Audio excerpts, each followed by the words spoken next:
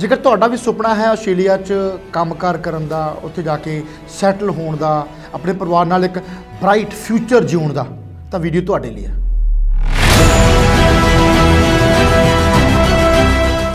ਸਤਿ ਸ਼੍ਰੀ ਅਕਾਲ ਜੀ, ਮੈਂ ਤੁਹਾਡਾ ਆਪਣਾ Sukhchain Rahi RS global immigration ਦੇ YouTube ਚੈਨਲ ਦੇ ਮਾਧਿਅਮ ਰਾਹੀਂ ਹਰ ਹਫ਼ਤੇ ਕੋਈ ਨਾ ਕੋਈ ਨਵੀਂ ਵੀਡੀਓ ਕੋਈ ਨਵਾਂ ਕੰਟੈਂਟ ਕੋਈ ਨਵੀਂ ਇਨਫੋਰਮੇਸ਼ਨ ਦੇਣ ਦੀ ਕੋਸ਼ਿਸ਼ ਕਰਦਾ।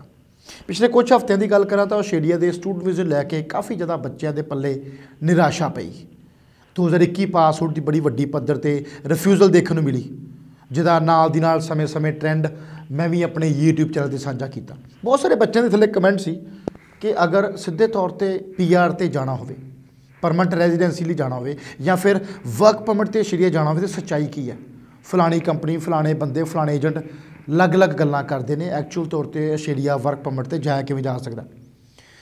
ਮੈਂ ਇੱਥੇ ਗੱਲ ਤੁਹਾਨੂੰ ਦੱਸਣਾ ਚਾਹੂੰਗਾ ਕਿ ਆਰਐਸ ਗਲੋਬਲ ਦਾ ਮੈਲਬਨ ਦੇ ਵਿੱਚ ਦਫ਼ਤਰ ਹੈ, ਜਿੱਥੇ ਇਮੀਗ੍ਰੇਸ਼ਨ ਲਾਇਰ ਮਾਹਿਰ ਵਕੀਲਾਂ ਦੀ ਟੀਮ ਬੈਠੀ ਹੈ ਮਾਰਾ ਏਜੰਸੀ ਟੀਮ ਬੈਠੀ ਹੈ, ਜੋ ਪਿਛਲੇ ਤਕਰੀਬਨ 6 ਸਾਲਾਂ ਤੋਂ ਬੱਚਿਆਂ ਨੂੰ ਇਮੀਗ੍ਰੇਸ਼ਨ ਦੀਆਂ ਸੇਵਾਵਾਂ ਦੇ ਰਹੀ ਹੈ।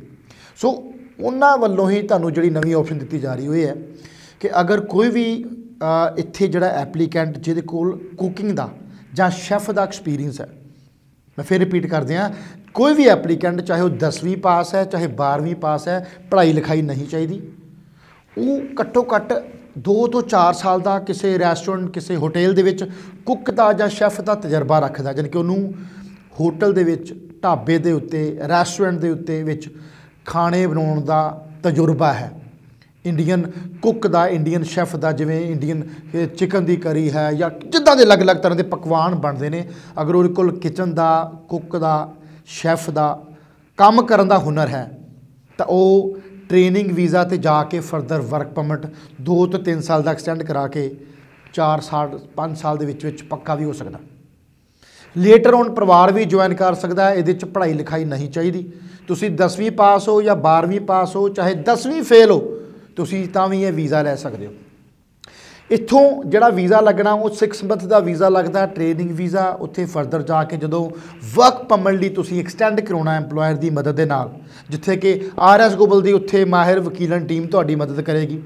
ਤੁਹਾਡਾ ਵੀਜ਼ਾ ਵਰਕ ਪਰਮਿਟ ਚ ਐਕਸਟੈਂਡ ਕਰਾਉਣ ਵਿੱਚ ਫਰਦਰ ਪਰ ਉਦੋਂ ਤੁਹਾਨੂੰ IELTS of 5 ਬੈਂਡ ਓਵਰਆਲ ਚਾਹੀਦੇ ਨੇ। ਕਿੰਨੇ ਚਾਹੀਦੇ ਨੇ? IELTS ਤੋਂ 5 ਬੈਂਡ ਓਵਰਆਲ ਜਨਰਲ ਕੈਟਾਗਰੀ ਚੋਂ। ਸੋ ਇੱਥੇ ਮੈਂ ਇਹ ਨਹੀਂ ਕਹੂੰਗਾ ਕਿ 10ਵੀਂ ਫੇਲ ਵੀ ਚੱਲ ਪਏਗਾ। ਇੱਥੋਂ ਵੀਜ਼ਾ ਲੈਣ ਲਈ ਪੜ੍ਹਾਈ ਲਿਖਾਈ ਦੀ ਲੋੜ ਨਹੀਂ ਹੈ ਬਟ ਅੰਗਰੇਜ਼ੀ ਚੋਂ ਘੱਟੋ ਘੱਟ ਪੰਜ ਬੈਂਡ ਉੱਥੇ ਜਾ ਕੇ ਲੈਣੇ ਪੈਣੇ ਆ, ਜਾਂ ਇੱਥੋਂ ਬੱਚਾ ਲੈ ਕੇ ਜਾਵੇ ਤਾਂ ਸੌਖ ਰਹੇਗੀ ਫਰਦਰ ਵਰਕ ਪਰਮਿਟ ਐਕਸਟੈਂਡ ਕਰਾਉਣ 'ਚ। ਅਗਰ 5 ਮਿੰਟ ਨਹੀਂ ਆਉਂਦੇ, ਤਾਂ ਵਰਕ ਵੀਜ਼ਾ ਐਕਸਟੈਂਡ ਤੁਹਾਡਾ ਨਹੀਂ ਹੋਣਾ। ਫਰਦਰ ਪੀਆਰ ਦਾ ਰਸਤਾ ਤੈਅ ਨਹੀਂ ਹੋਣਾ, ਕਿਉਂਕਿ ਸਕਿਲਡ ਕੈਟਾਗਰੀ 'ਚ ਗੱਲ ਕੀਤੀ ਜਾ ਰਹੀ ਹੈ। ਇੱਥੋਂ ਟ੍ਰੇਨਿੰਗ ਵੀਜ਼ਾ 6 ਮੰਥ ਦਾ ਫਰਦਰ ਜਾ ਕੇ 2 ਤੋਂ 3 ਸਾਲ ਦਾ ਵਰਕ ਪਰਮਿਟ ਐਕਸਟੈਂਡ ਕਰਾ ਕੇ ਪੀਆਰ ਲਈ ਜਾ ਸਕਦੀ ਹੈ। ਉੱਥੇ ਜਾ ਕੇ ਜਦੋਂ ਵਰਕ ਪਰਮਿਟ ਤੇ ਆਉਂਦੇ ਹੋ, ਆਪਦੇ ਸਪਾਊਸ ਆਪਦੇ ਬੱਚੇ, ਆਪਣੇ ਪਰਿਵਾਰਕ ਮੈਂਬਰ ਨੂੰ ਬੁਲਾਇਆ ਜਾ ਸਕਦਾ ਸੋ ਲਿਮਟਿਡ ਟਾਈਮਲੀ ਆਪਸ਼ਨ ਆ। ਲਿਮਟਿਡ ਸਾਡੇ ਕੋਲ ਸੀਟਸ ਹੈ। ਤਕਰੀਬਨ ਪਹਿਲੇ 30 35 ਐਪਲੀਕੇਸ਼ਨ ਨੂੰ ਲਿਆ ਜਾਏਗਾ। ਕੋਈ 200 400 ਐਪਲੀਕੇਸ਼ਨ ਨਹੀਂ ਲਈ ਜਾਣੀ। 30 35 ਐਪਲੀਕੇਸ਼ਨਾਂ ਲੈ ਕੇ ਅਗਲੇ 3 ਮਹੀਨਿਆਂ 'ਚ ਵੀਜ਼ੇ ਦਿਖਾ ਕੇ ਫਿਰ ਫਰਦਰ ਆਸਟ੍ਰੇਲੀਆ ਤੋਂ, ਇੱਥੇ ਇੰਡੀਆ ਤੋਂ ਜਿਹੜੇ ਬੁਲਾ ਕੇ ਆਪਣੇ ਲਾਇਰਸ ਨੂੰ ਤੁਹਾਡੇ ਰੂਬਰੂ ਕਰਾਇਆ ਜਾਏਗਾ। ਸੋ ਫਿਲਹਾਲ ਫਸਟ ਕਮ ਫਸਟ ਸਰਵ ਨਵੇਂ ਸਾਲ ਦਾ ਤੋਹਫਾ ਜਨਵਰੀ 2023 ਦਾ ਅੱਜ ਦਸੰਬਰ ਦੀ ਤੁਹਾਨੂੰ 20 ਤਰੀਕ ਨੂੰ ਦੇ ਚੱਲਿਆ। ਤੁਸੀਂ ਪੰਜਾਬ, ਹਰਿਆਣਾ, ਹਿਮਾਚਲ, ਹਿੰਦੁਸਤਾਨ ਦੇ ਕਿਸੇ ਵੀ ਸੂਬੇ ਤੋਂ ਬਿਲੋਂਗ ਕਰਦੇ ਹੋ। ਤੁਹਾਡੇ ਕੋਲ ਹੋਟਲ ਰੈਸਟੋਰੈਂਟ ਢਾਬਾ, ਕਿਸੇ ਵੀ ਥਾਂ ਦੇ ਉੱਤੇ ਕੁਕਿੰਗ ਦਾ ਸ਼ੈਫ ਦਾ ਤੁਹਾਡੇ ਕੋਲ 2 ਤੋਂ 4 ਸਾਲ ਦਾ ਤਜਰਬਾ ਹੈ। ਤੁਸੀਂ ਕੰਮ ਕਰ ਸਕਦੇ ਹੋ। ਇਹਦੇ ਵਿੱਚ ਕੰਮ ਹੋਣਾ ਜ਼ਰੂਰੀ ਹੈ। EMPLOYER ਨੇ ਇੰਟਰਵਿਊ ਵਿੱਚ ਤੁਹਾਡੇ ਕੋਲ ਗੱਲਾਂ ਨਹੀਂ ਸੁਣਨੀਆਂ। ਤੁਹਾਡੇ ਅੰਗਰੇਜ਼ੀ ਦੇ, ਤੁਹਾਡੇ ਉਹਨੇ ਵੋਕੈਬਲਰੀ ਦੇ ਜਾਂ ਬੈਂਡਸ ਚੈੱਕ ਨਹੀਂ ਕਰਨੇ ਆਇਲਸ ਦੇ। ਤੁਹਾਡੇ ਕੋਲ ਕੰਮ ਕਰਵਾ ਕੇ ਦੇਖਣਾ ਵੀ ਇਹਨੂੰ ਵਾਕਈ ਹੋਟਲ 'ਚ ਕਿਚਨ 'ਚ ਕੰਮ ਕਰਨਾ ਆਉਂਦਾ as a cook as a chef ਕੰਮ ਕਰ ਲੈਂਦਾ। ਸੋ ਅਗਰ ਤੁਹਾਡੇ ਕੋਲ 2-4 ਸਾਲ ਦਾ ਕਿਚਨ ਦਾ ਐਕਸਪੀਰੀਅੰਸ ਹੈ ਸ਼ੈਫ ਦਾ ਕੁੱਕ ਦਾ ਐਕਸਪੀਰੀਅੰਸ ਹੈ ਇਤੋਂ ਫਰਦਰ ਟ੍ਰੇਨਿੰਗ ਵੀਜ਼ੇ ਤੋਂ ਬਾਅਦ ਵਰਕ ਪਰਮਿਟ ਤੇ ਜਾ ਕੇ ਇੱਕ ਚੰਗਾ ਭਵਿੱਖ ਬਣਾਇਆ ਜਾ ਸਕਦਾ।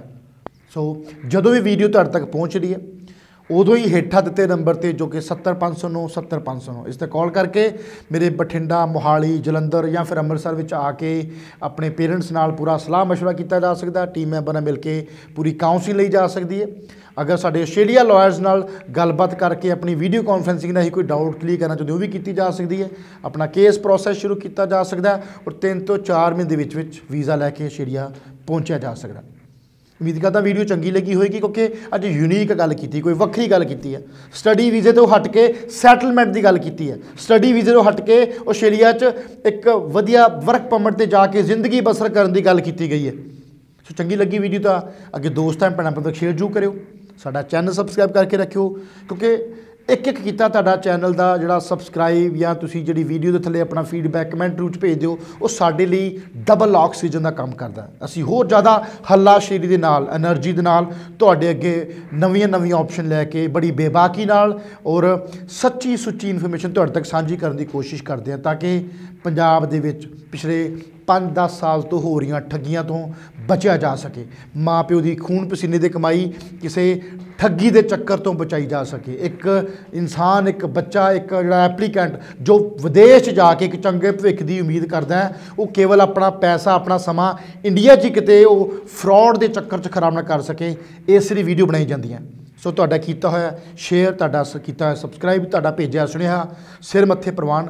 ਇਸ ਵੀਡੀਓ ਨੂੰ ਵੇਖ ਕੇ ਵੀ ਆਪਣੇ ਸੁਝਾਅ ਜ਼ਰੂਰ ਸਾਨੂੰ ਦੇ ਦਿਓ। ਨਵੀਂ ਵੀਡੀਓ ਲੈ ਕੇ ਅਗਲੇ ਹਫ਼ਤੇ ਫੇਰ ਤੁਹਾਡੇ ਨਾਲ ਰੂਬਰੂ ਹਾਜ਼ਰ ਹੋਊਗਾ। ਤਦ ਤੱਕ ਜਿਉਂਦੇ ਵਾਸਤੇ ਰਹੋ, ਰੱਬ ਰਾਖਾ। ਸਤਿ ਸ਼੍ਰੀ ਅਕਾਲ।